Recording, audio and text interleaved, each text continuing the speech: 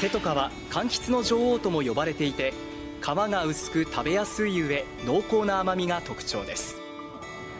尾道市瀬戸田町では毎年1月上旬頃からハウス栽培の収穫が始まりこの時期初出荷を迎えます。350g を超える大玉 5L サイズは1個1000円以上の値がつき贈答用として人気があります。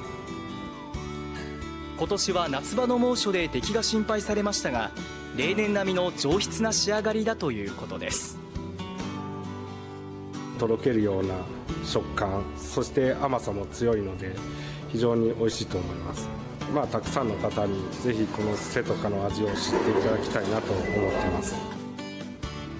ハウス栽培の瀬戸カは今シーズンおよそ35トンの出荷を見込んでいて